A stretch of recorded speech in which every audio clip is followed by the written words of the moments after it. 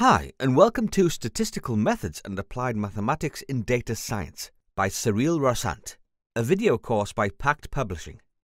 I'm Drew Campbell, and I will be the presenter for this course. Cyril Rossant is a neuroscience researcher and software engineer at University College London.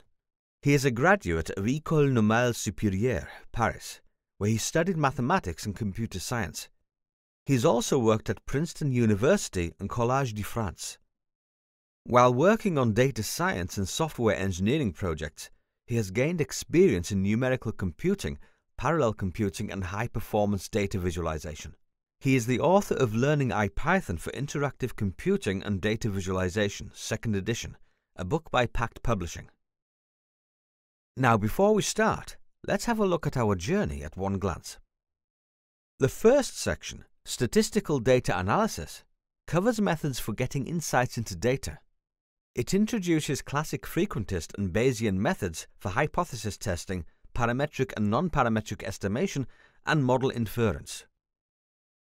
Next, we'll move to the second section, machine learning, where we'll cover methods to learn and make predictions from data. Using the scikit-learn Python package, this section illustrates fundamental data mining and machine learning concepts such as supervised and unsupervised learning, classification, regression, feature selection, feature extraction, overfitting, regularization, cross-validation, and grid search.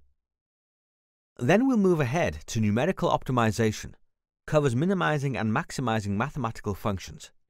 This topic is pervasive in data science, notably in statistics machine learning, and signal processing.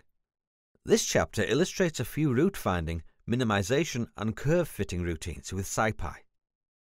The fourth section, signal processing, covers extracting relevant information from complex and noisy data. These steps are sometimes required prior to running statistical and data mining algorithms. This section introduces basic signal processing methods, such as Fourier transforms and digital filters. Moving ahead, we will explore about image and audio processing, covers signal processing methods for images and sounds.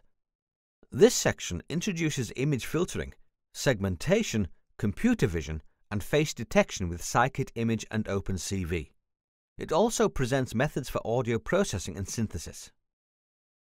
Then we will dive into deterministic dynamical systems, describes the dynamical processes underlying particular types of data, it illustrates simulation techniques for discrete time dynamical systems, as well as for ordinary differential equations and partial differential equations.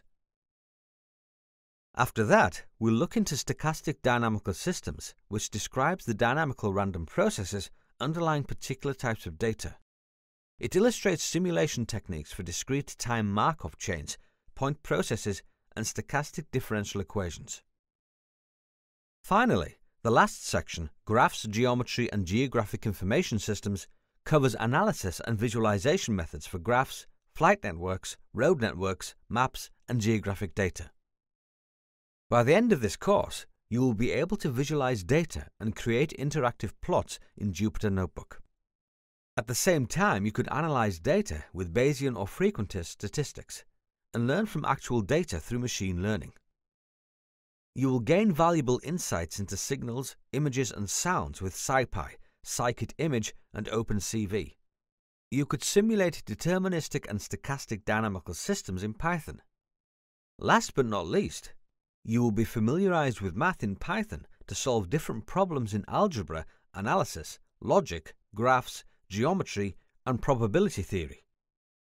This practical hands-on course will teach you how to analyze and visualize all kinds of data in Python.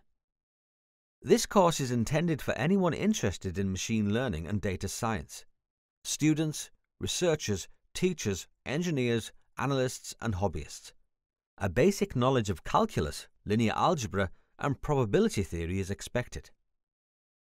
And you just need a machine with Jupyter Notebook installed on it, along with Python version 3.6 or above.